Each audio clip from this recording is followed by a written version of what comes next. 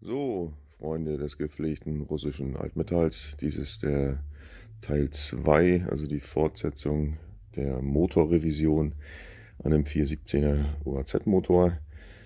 Und jetzt kommen wir in die spannendste Phase. Ich habe da schon mal angefangen, das äh, Werkzeug anzusetzen. Ja, ich weiß, diejenigen unter euch, die sich auskennen, da gibt es auch ein Spezialwerkzeug ab Werk. Das ist mir jedoch leider nicht möglich, das zu besorgen. Die Leute, die ich gefragt habe, die sowas haben könnten, die haben das mal irgendwohin verborgt und nicht wiederbekommen. Und äh, das ist natürlich schade. Und ich sehe schon hier äh, mein Werkzeug, was sich schon mal anderweitig gut bewährt hat.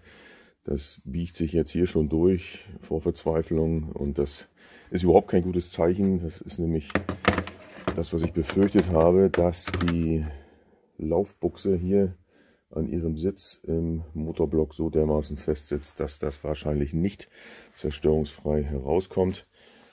Hier ist sie schon ein Stückchen rausgekommen, die Laufbuchse, aber das war unter massiver Gewalteinwirkung und das Werkzeug hier oben sieht etwas besser aus, das habe ich schon mal verstärkt.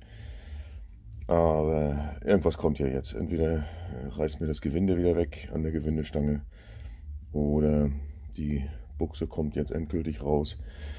Aber dann wird es darunter auch nicht viel besser aussehen. Also ich denke an dieser Stelle ist jetzt schon mal gesunde Skepsis angesagt. Ihr seht auch da habe ich an diesem Werkzeug schon massive Gewalt einwirken lassen. Das heißt hier sind schon die Schläge zu sehen und äh, ja, ich bin gespannt, ob das jetzt überhaupt rauskommt oder ob das jetzt an, an dieser Stelle eine kurze Fortsetzung dieser Motorrevision war, um nicht zu sagen, dass die Revision dann an dieser Stelle leider abgebrochen werden muss. Wir werden es gleich sehen.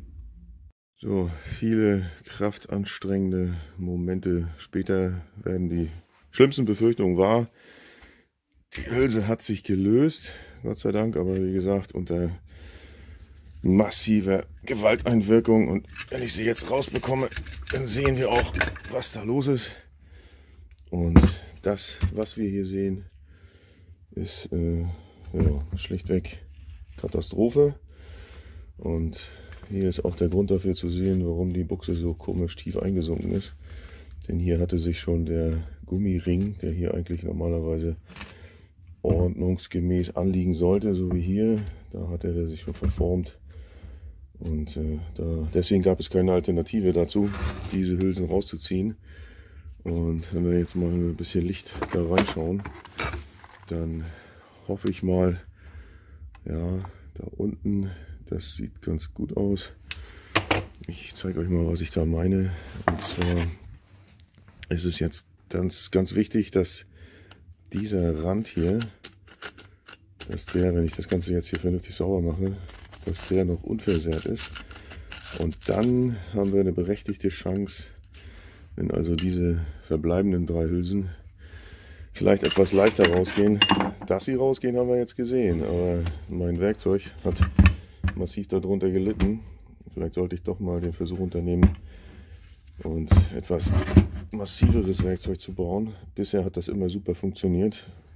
Ihr seht schon, oben habe ich es ganz schön massiv gebaut, aber hier unten, diese Stahlplatte hat sich dann auch leider durchgebogen. Vielleicht hat ja jemand eine Idee und schickt mir das Spezialwerkzeug kann auch nur leihweise sein. Ich will es ja nicht behalten. Ne? Ich versuche es jetzt mal mit der nächsten Buchse und wenn das nichts wird, dann muss ich mir mit dem Spezialwerkzeug irgendwie neue Gedanken machen. So, etliche quälende, zehntelweise Bemühungen mit roher Gewalt und modifiziertem Werkzeug. Vielen Dank an einen befreundeten Oldtimer-Schrauber. Besten Dank daran, dass du mir geholfen hast. Es äh, hat was geholfen, dein Werkzeug. Die zweite Hülse kam jetzt auch raus und ja, da ist sie. Das gleiche Bild, ein Haufen Gramusel und innen drin sieht es ähnlich aus wie auf dem ersten Zylinder. So, dann sind es noch zwei von vier, die hoffentlich auch so zwar gequält, aber doch mit einem Happy End herauskommen. Die dritte Hülse ging jetzt erstaunlicherweise in noch nicht mal fünf Minuten raus. Ich weiß nicht, ob ich mich nur schon an die Quälerei gewöhnt habe. Effektivität verbessert habe, aber ob die einfach nicht so fest saß. Da ist sie. So. Mal schauen. Gramusel, wie in allen anderen auch. Ja, sieht gut aus. Auf zur letzten Hülse. Die vierte von vier Hülsen hat nochmal deutlich mehr Arbeit gemacht und ist jetzt auch noch nicht mal richtig lose. Also, die hat auch noch mal richtig Anstrengung gekostet. Oh, meine Güte. Das kann doch nicht wahr sein. So ein Aufwand hatte ich, glaube ich, noch nie. Weiß auch nicht warum, aber ja, warum ich mir das antue. Jetzt weiß ich auch, warum neue Motoren so teuer sind. Weil kaum jemand Bock hat, Motoren in Stand zu setzen. So, Fazit. Alle vier Laufbuchsen sind raus. Meine Befürchtungen haben sich erstmal noch nicht bestätigt, denn das Tragbild hier unten, da wo es nachher wieder drauf ankommt, wenn der neue Ring, also wenn die neue Hülse mit neuem Dichtring da reinkommt, dann kommt es nämlich genau hier, da kommt es drauf an, dass das alles schön sauber und ordentlich ist. Kein Kesselstein, keine Ausbrüche und und und. Ja, nach der ganzen Quälerei muss ich jetzt erstmal mich sortieren. Und jetzt kommt auch endlich die Reinigung des Motorblocks. Einige unter euch haben sich gefragt, ja, was spielt der denn an so einem dreckigen Motorblock rum? Ja, ganz einfach. Ich habe keinen Bock, äh, eine Leiche zu putzen. Denn was nützt mir das, wenn ich den vorher richtig schön sauber mache von außen und im Nachhinein stellt sich raus, dass das Ding Kernschrott ist. Ne? Dann freuen sich der Schrottcontainer und sonst niemand. So, in diesem Sinne, es ist erstmal das Gröbste geschafft. Jetzt kommt das, was gar keinen Spaß macht, nämlich die Reinigung des Motorblocks. So, die Laufbuchsen 1 bis 4 sind rausgezogen. Der Motor ist grob gereinigt und bevor es jetzt weitergeht, kommt die neue Kurbelwelle schon mal auf den Tisch. Ich habe sie gerade mal ausgemessen und ich weiß ja, die ist äh, schon vor geraumer Zeit geschliffen worden und ich habe sie so lange aufbewahrt. Nun könnte sie an die Reihe kommen. Meine Messuhr hat die Werte ergeben, dass es sich um Lagerschalen handeln muss. Minus 0,25.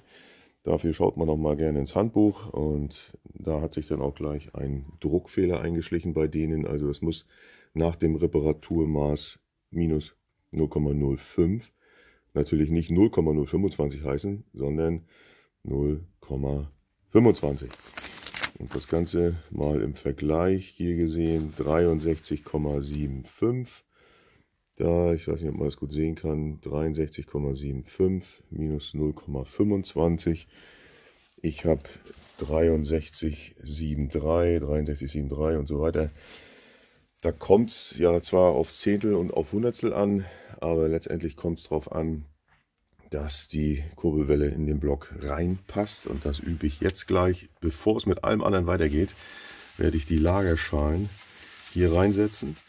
Dann wird die Kurbelwelle in den Block reingelegt und dann ist der Moment der Wahrheit. Und wenn sich die Kurbelwelle nicht dreht, wenn sie ohne irgendwas alleine nur so in den Lagerschalen drin liegt, wenn sie dann schon klemmt, dann ist schon mal Game Over, dann stimmt da was nicht. Aber das schauen wir uns gleich an.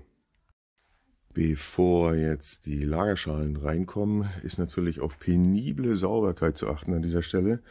Ich habe ja eben gesagt, den Motorblock habe ich grob gereinigt. Natürlich noch nicht so fein gereinigt, weil es wird jetzt richtig spannend, ob das hier an dieser Stelle zu Ende geht mit der Revision oder ob ich auf eine neue Kurbelwelle warten muss oder aber ob die Kurbelwelle passt. Und das kriegen wir nur raus, indem wir hier die Hauptlagerschalen einsetzen. Diese Hauptlagerschalen sitzen an diesen fünf Stellen hier und da sollte penibel sauber gemacht werden. Kann es gar nicht oft genug sagen.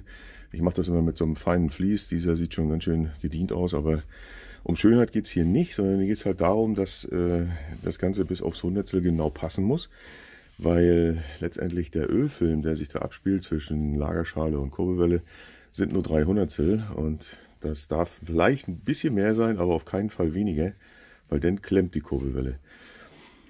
Ja, ein Hinweis noch, was ich vorhin erwähnte, eingangs war, dass äh, ich mir ja Körnerschläge gemacht habe und diese 1, 2, 3 Gut, hier hat keine vierte mehr gemacht. Das sind die Körnerschläge, die schon vorhanden sind. Meine sind auf der anderen Seite. Da ist die 4, die 3, die 2, die 1. Ist jetzt zwar ein bisschen blöde, weil auf jeder Seite jetzt Körnerschläge sind, aber das macht überhaupt nichts, weil letztendlich kommt es darauf an, dass die äh, Lagerböcke auch wieder dahin kommen, wo sie hingehören. Und das Verdrehen verhindert man halt dadurch, dass man weiß, dass diese Lagerschale hier vorne eine Nase hat. Ne, die passt ja auch gar nicht anders rein. Und diese Nase kommt dahin. Und wenn jetzt der Lagerbock von oben drauf kommt, dann zeigen diese Nasen unbedingt zueinander. Und wenn man das beachtet, dann hat man auch die Verdrehung verhindert. Dadurch ist es dann irrelevant, ob jetzt hier auf der einen Seite ein Körnerschlag ist oder auf beiden Seiten. Hauptsache ist, dass die 2 und die 2, die 3, die 4 und die 5 so weiter, dass man das nicht verwechselt. Ist mir auch schon passiert. Ich habe auch meinen Lagerbock falsch rum montiert, dann mit 130 Newtonmeter angezogen und das war dann das Aus. Weil da verzieht sich dann selbst so ein großer Alublock hier um die ein paar Hundertstel hat er sich dann verzogen und die Kurbelwelle hat hoffnungslos geklemmt. Und das war dann das Todesurteil für diesen Block, weil man müsste dann den gesamten Wellentunnel nochmal neu nachreiben, nachholen, wie auch immer das heißt. Das kann man natürlich machen, aber wer soll das bezahlen? Das ist für so einen kleinen Hobbyschrauber wie mich hier auf der Werkbank nicht möglich. Und daher gebe ich mir jetzt die größte Mühe, dass die Kurbelwelle da jetzt vernünftig reinkommt und sich hoffentlich gleich saugend, schmatzend dreht. Da bin ich jetzt sehr erleichtert, denn die Kurbelwelle lässt sich gut drehen. Jetzt mit einer Hand nicht, aber ist ja klar. Ich habe es mit beiden Händen versucht. Äh, das fühlt sich schon sehr gut an, äh, so wie ich mir erklären lassen habe von dem erfahrenen Motorenschlosser. Wenn die Kurbelwelle jetzt komplett klemmen würde, wenn man sie reinlegt, dann kann man gleich aufhören.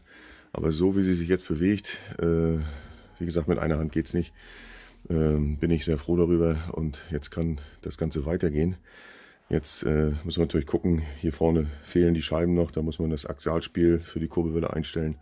Das kann jetzt alles nach und nach erfolgen. Ich mache mir jetzt nochmal die Mühe und setze nochmal zwei Lagerböcke drauf, ziehe sie dann nochmal fest und wenn sich die Kurbelwelle dann noch drehen lässt, dann ist wirklich alles gut. Das prüfe ich jetzt gleich nochmal. Und nochmal, ich kann es gar nicht oft genug sagen, weil es so wichtig ist, dass diese Nase hier unten auf der Seite genau da hinkommt, wo auch die Nase, das ist nicht die Nase, das ist der Verdrehschutz für die Lagerschale. In diesem Fall ist das die vierte und die zweite habe ich zurecht gemacht. Ganz wichtig, die Nase, der Verdrehschutz zeigt auf die Seite zum Verdrehschutz der anderen Seite. Dann kommt das Ganze hier drauf. Da darf auch ruhig ein bisschen Öl jetzt dazwischen sein. Hier auf dem hier ist jetzt noch nichts drauf, aber ich habe die äh, Kurbelwelle an der Stelle mit Öl versehen, weil im Normalbetrieb ist da ja auch Öl und äh, dann kann man das Ganze jetzt hier draufsetzen und dann wird das mal mit Drehmoment angezogen und dann schauen wir mal, ob sich die Kurbelwelle dann auch noch drehen lässt. Und das ist jetzt wirklich erfreulich, weil sich die Kurbelwelle schön sachte. Jetzt mit einer Hand geht es natürlich nicht. Das ist ein bisschen schwer, aber sie lässt sich sauber durchdrehen und auch, ich habe mir deswegen extra die Schwungscheibe angebaut. Äh, aber mit einer Hand geht's nicht. Die gute Nachricht, und das freut mich sehr, ich habe hier die beiden Lagerböcke probehalber montiert und mit 130 Newtonmeter angezogen. Im Handbuch steht etwas, äh, ich muss mal auf meinen Schmierzettel gucken, von 100, nee, von 12,5 bis 13,6 Kilopondmeter, glaube ich, sind das. Umgerechnet in Newtonmeter, äh, sagt der Drehmomentschlüssel, habe ich so eingestellt, dass das dann die 130, also Regal und Drehmomentschlüssel könnt ihr alle umgehen, 130 Newtonmeter für die Hauptlagerböcke und äh, ich würde es ganz, ganz gerne zeigen, aber mit einer Hand geht es nicht, sonst fällt mir der Motorblock um. Ja, das ist ein gutes Zeichen. Jetzt kann es weitergehen. In aller Ruhe wird der Motorblock jetzt grundgereinigt, also fein gesäubert. Und dann schauen wir mal, wenn die neuen Laufbuchsen da sind, wie sich das dann anfühlt, wenn die dann probeweise eingesetzt werden. So, den Teil 2 dieser Motorrevision will ich heute mal damit beenden, dass ich mich hier sehr, sehr darüber freue, dass der Motor, wo ist die Lampe, dass der Motor zum Wiederaufbau geeignet ist. Ich habe ihn jetzt mal fein gereinigt und was ich zu Beginn schon erwähnte, worauf es mir ankam, sind die unteren Abstützungslager. Da ganz rechts unten, da ist es zu sehen, dass es nicht so ganz astrein ist. Das soll aber mit der Gummidichtung um die Laufbuchse funktionieren. Da mache ich mir keine Sorgen. Ich freue mich jetzt, dass der Motor zum Wiederaufbau geeignet ist. Was weniger erfreulich ist, ist es jetzt, die ganzen Teile zu reinigen. Die Hauptlagerböcke, diese beiden hatte ich ja vorhin schon montiert. Die Kurbelwelle liegt auch schon bereit, das ist schon die neue. Die alte brauche ich gar nicht ausmessen. Da ist schon so viel zu spüren, dass ich das gar nicht nachmessen brauche und schleifen werde ich sie auch nicht. Ob ich das äh, Nockenwellensteuerrad nochmal erneuere, weiß ich noch nicht. Äh, ich denke, das ist noch in Ordnung, wenn jemand anderer Meinung ist. Vielleicht sollte man da auch nicht an der falschen Stelle sparen. Dann bitte einen Tipp in die Kommentare schreiben. Was jetzt weniger Spaß macht, ist, dass diesen Schmand hier von den Teilen zu beseitigen. Das ist der, dieses graue, das ist einfach das, das graue Ungemach, das blanke Grauen, was man da vorfindet in so einem Motor, was von dem unheilvollen Kurzstreckenbetrieb zeugt. Und ja, das muss ich jetzt erstmal sauber machen. Und äh, wenn denn die Teile gereinigt sind, dann geht es daran, auch dich, äh, sich nochmal mit dem Kopf zu befassen. Der Kopf liegt hier erstmal beiseite.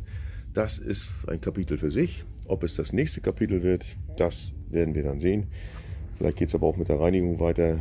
Mal schauen. Vielen Dank für das Interesse. Fortsetzung folgt.